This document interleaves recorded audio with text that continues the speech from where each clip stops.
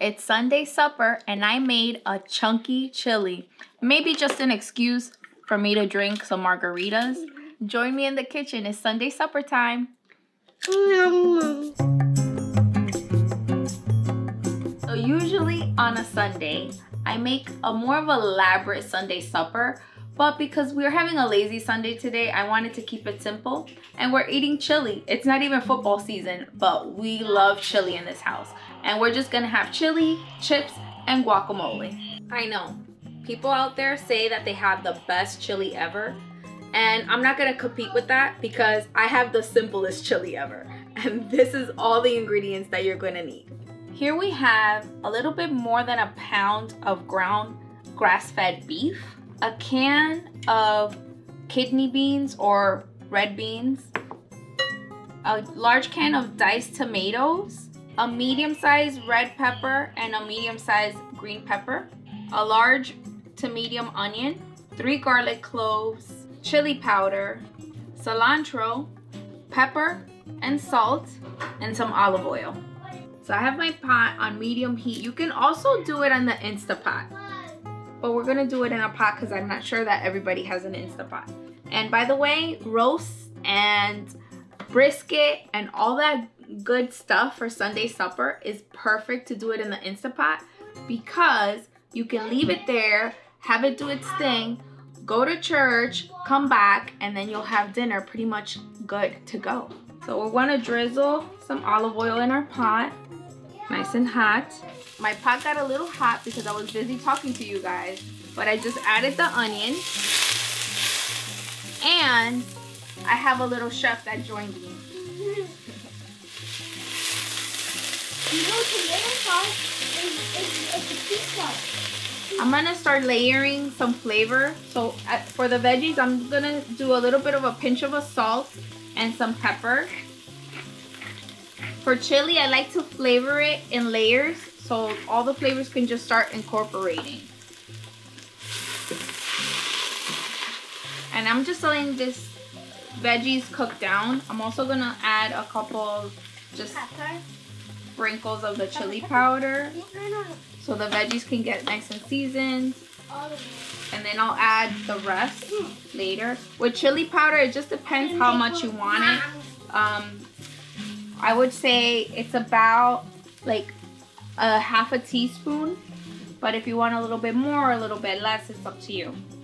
Okay, Logan, so now it's time for us to add the meat. Yeah.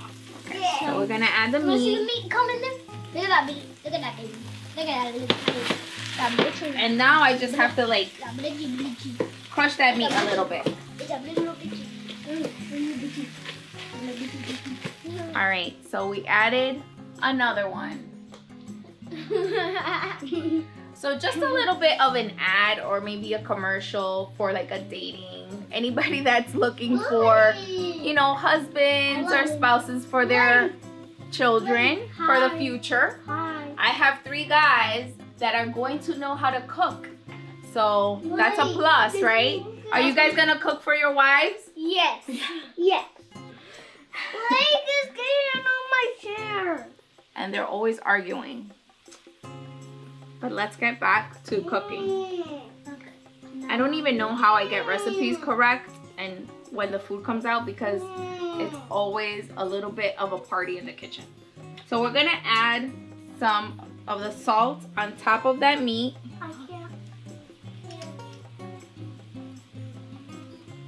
Get a table, please. And I add pepper. Don't touch the salt. Chili powder.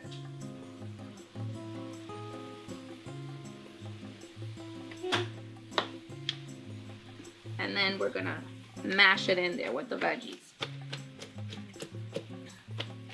While the meat and the veggies are doing its thing in the pot, I'm gonna start cutting up a little bit of the cilantro. And this is just uh, on top towards the end of the cooking process. Wait. So for cilantro, guys, all you do is you kind of like want to shave it off a little bit. You shave it off, like daddy shaves, yeah. There's a couple of stems here. We're gonna remove that. You guys wanna remove, make sure that there's no stems, okay? Okay. So look, only the leaves. Can you take off all the leaves and put them in the, the board? I want to taste them. Can I taste one of Yeah, you can taste it. What do you guys think? What do you think it tastes like? Can it taste like pepper? Like pepper? It Mm, tastes like um salad. Tastes like salad. You know that some people say that cilantro tastes like soap? Not to me. I like cilantro, but some people say it tastes like soap. So if you are one of those people that cilantro tastes like soap, then don't use it. You can also use parsley with it. I like parsley sometimes to substitute for cilantro. Look how many stems. How many? It's really hard to figure out how much cilantro you're gonna need. So if you have about a handful, a palm of it, that's how much you're gonna put in your chili. So you see here, there's still liquid in the meat, so it's not quite ready. Once this meat, uh, water evaporates, that's when you're gonna add your canned diced tomatoes to it, and it's and it'll be ready for the next process of cooking. I forgot one thing while I was sharing the ingredients in the beginning. Forgot to add tomato paste. I freeze my tomato paste in baggies and section them off. So I'm gonna add a little bit of that because I want it to get a little thicker.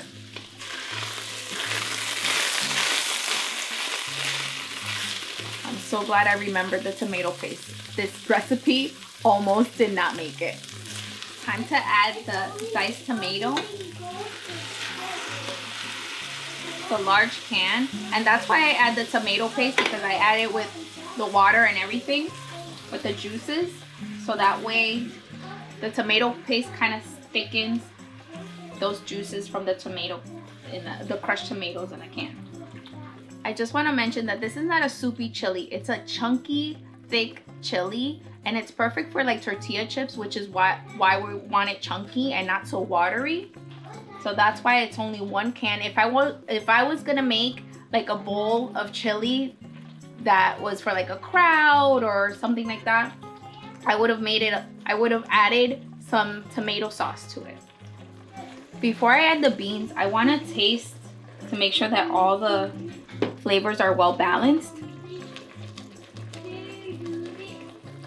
Mm. It might need a little bit of more salt.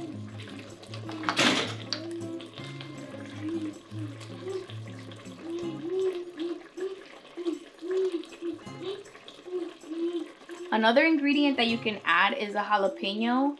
I did not add it to this pot because my boys are gonna eat it and we're having a really spicy guacamole. So I just kept it super mild. Time to add the beans.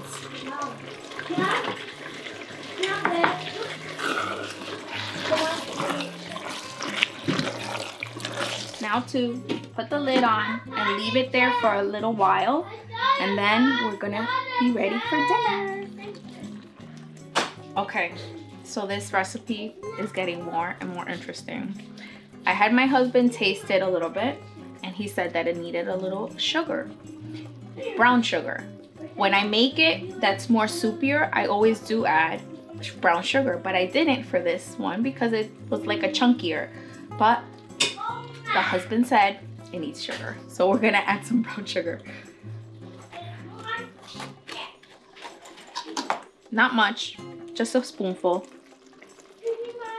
It gives it a sweet taste and it balances out the acidity of the tomatoes. This chili is ready to be served, so I'm gonna add the cilantro.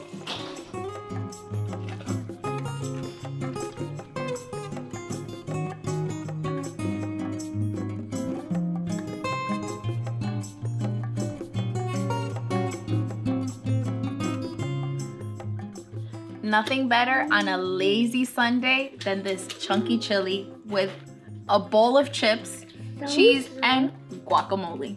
I hope this video has inspired you to have your own Sunday supper.